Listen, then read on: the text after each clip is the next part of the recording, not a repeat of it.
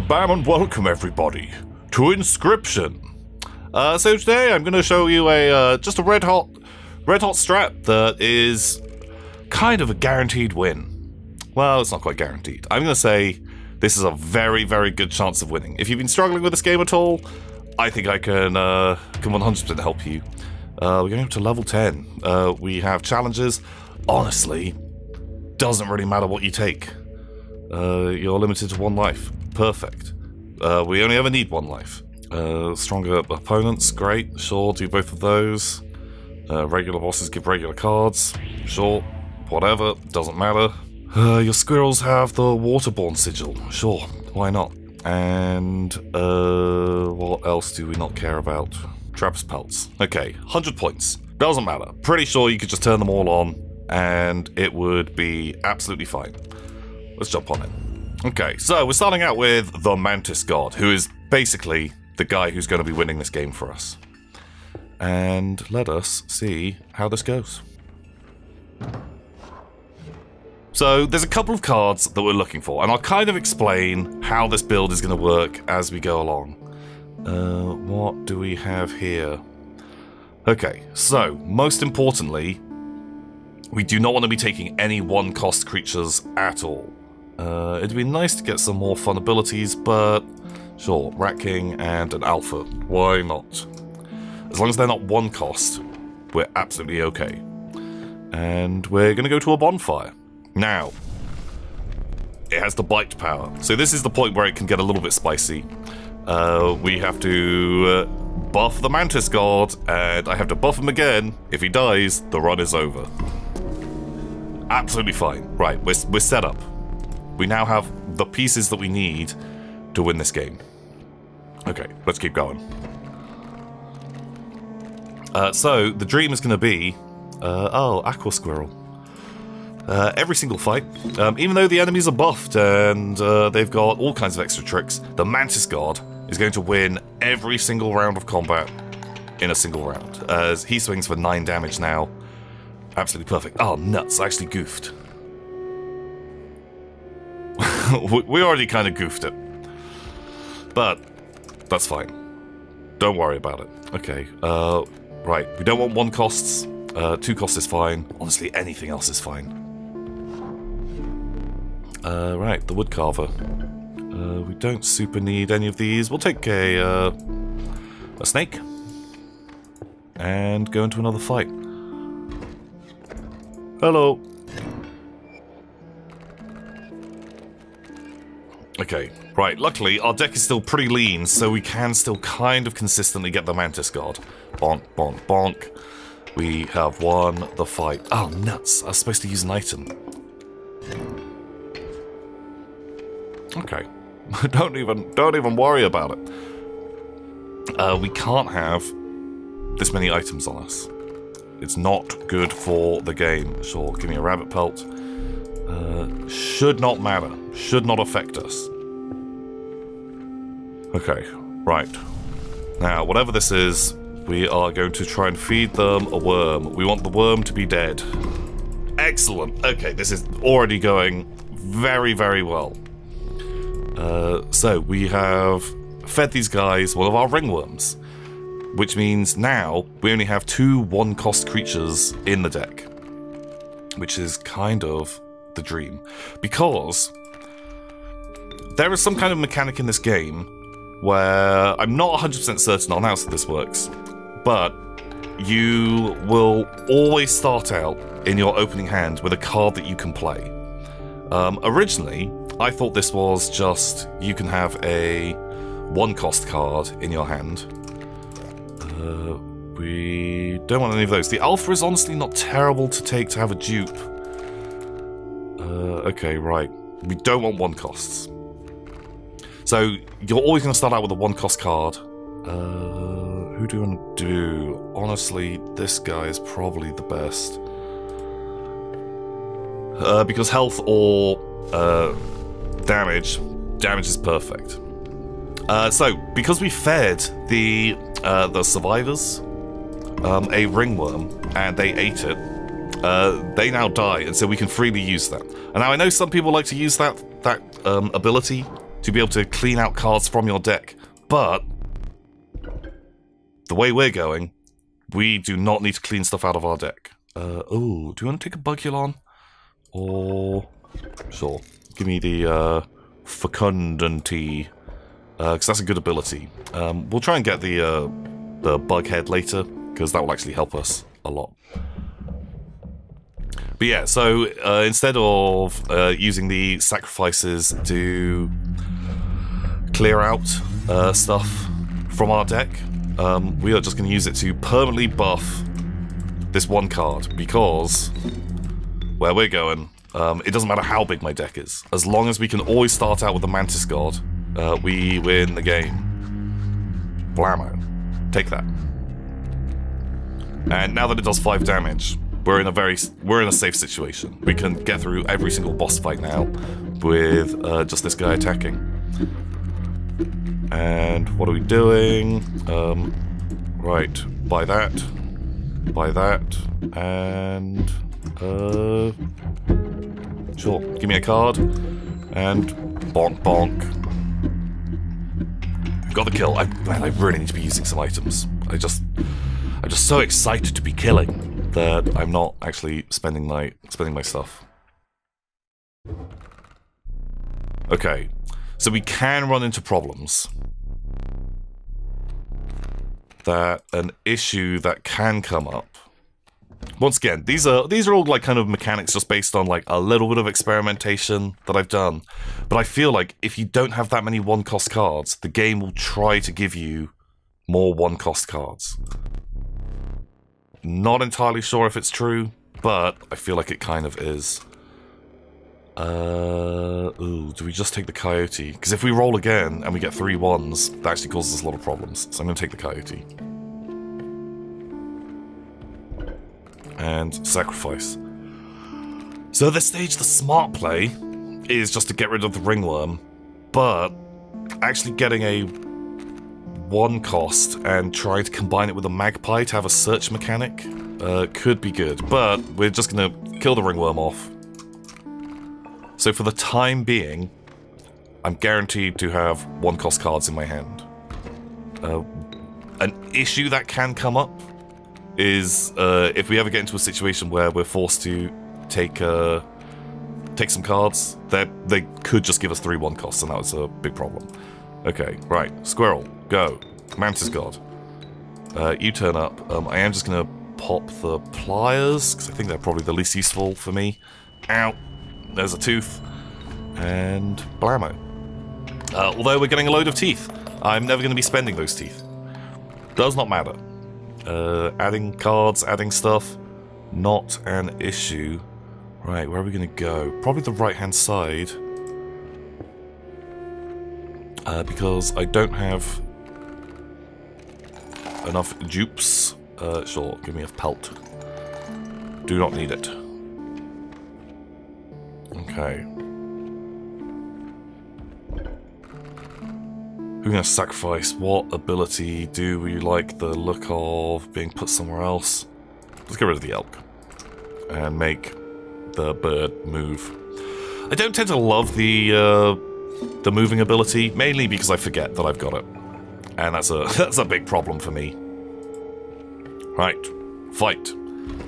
Uh, so, assuming everything is working, Mantis God will be an opening hand, and we can get down to business. Great. Here it is. We have a one cost. So, there are other other kind of like little mechanics going on in this that, once again, I'm not entirely sure if it's true or if I'm just making stuff up just to sound cool. But the... If you sacrifice too many creatures, your starting amount of stuff, let's take a double. Okay, we've got another elk. So if we take doubles, we're kind of fishing for getting a magpie in our hand. What do we want? A black goat is probably not a terrible choice, just in case things go wrong. Uh, but Pretty sure, pretty sure it won't. But yeah, if you sacrifice more creatures, then you'll start out with two bones. At which stage, suddenly, you might be able to pull a two bone cost creature at the beginning. Like I'm sure I've seen it happen. And in turn, there's a guy called Geck who also ruins this plan. Uh, because I just think the game is trying to make you always be able to play something turn one. And we don't want anything else that we can play on turn one, only the Mantis. Okay, right, what have you got for me? Uh, would love a magpie. See, Black Goat, normally, love the Black Goat, but don't want it. Doesn't matter what we take, just as long as it isn't a one cost. Uh, I'd love some health, please, but honestly, getting this guy to 6 attack is going to come in useful very, very much on the final boss. And, oh great, we've got health. So now I don't have to worry about spikes. We're, we're in a great situation right now. It's going very, very well. And as you can see so far, none of the buffs uh, or debuffs that we've taken from the difficulty level are coming into effect at all. Okay, this is the only time when it can get a little bit spicy, because he will kill my Mantis off. It would have been great to have an ability. Uh, so we're actually going to wait a turn. And we're not going to die, I don't think. So I think we just take stuff. Okay. So in the dream world, if we can get a... Uh, what was it, like the cockroach? So every time this guy dies, he'll come back to my hand, or if you can get the fecundity onto him, uh, that is real good uh, as well. Nice, okay, we've got some stuff. You're a coward! That mule's defenseless! So the reason I didn't deploy off to the side there was because I am... I want to get as many cards to be able to play as physically possible. So I think we're just gonna... I think we're just gonna take this. Uh, we are gonna win this round. But sadly, Mantis God is going to die. Ripperoni, my, my dear friend. Uh, if we had set that up a bit better, maybe I even missed, missed an opportunity to take it, but he's gone. Uh, but we might still be able to do this. I think we've got 5 damage. Uh, let's just take this, because if we get not that... There's 4 there... I think that we're probably fine. I need to sacrifice more stuff. Sure. Here we go. Have an elk. Uh, don't want a rabbit pelt. And the rattler... Great, we've got off 5 damage. Maybe I should have played something. Let's just grab a squirrel, just in case. Uh, the only reason I'm taking that squirrel is just to make sure that my uh, items aren't full at the moment. So it doesn't even matter if we pick up a pack rat. Uh, okay, please don't give me three one value cards. That's bad. That's good. That's bad. Take you.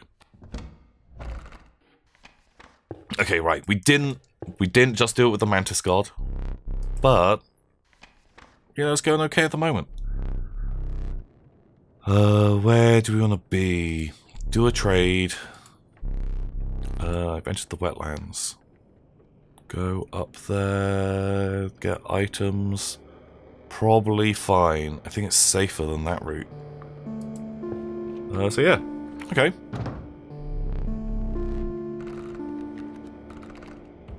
Uh, what do we want?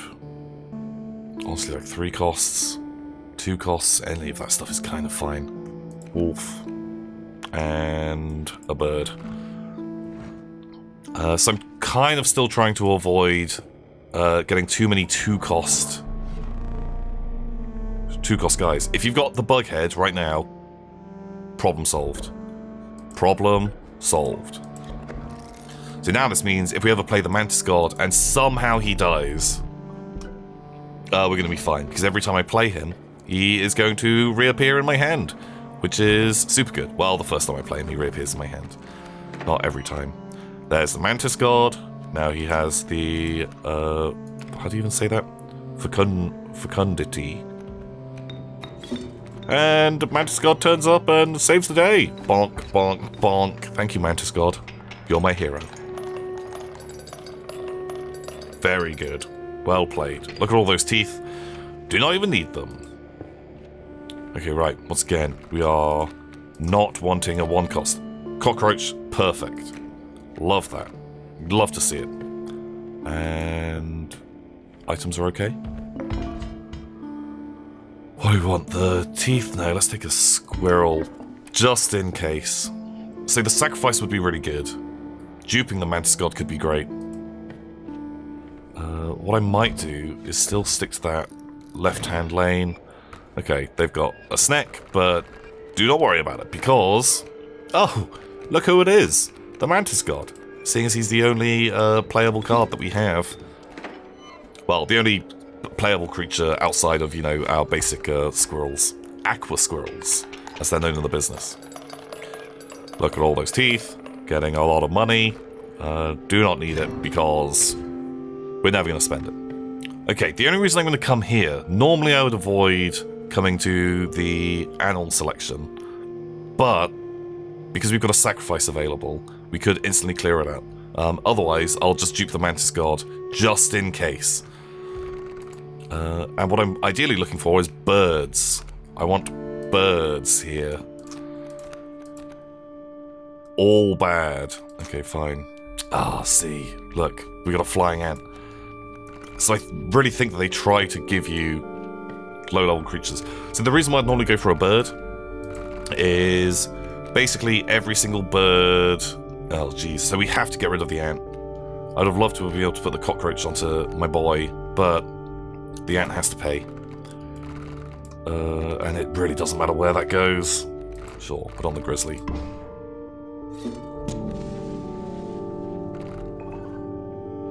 Uh, so if we had got a bird, then there's a chance that we could have got a magpie out of that fight, which would have been great. And if we had that, then, you know, you can always put the magpie search ability onto another level 1 creature. That just means that you now have two level 1s. Oh, shoot. Oh, no. Good. We got him. I was worried that we had messed this up somehow.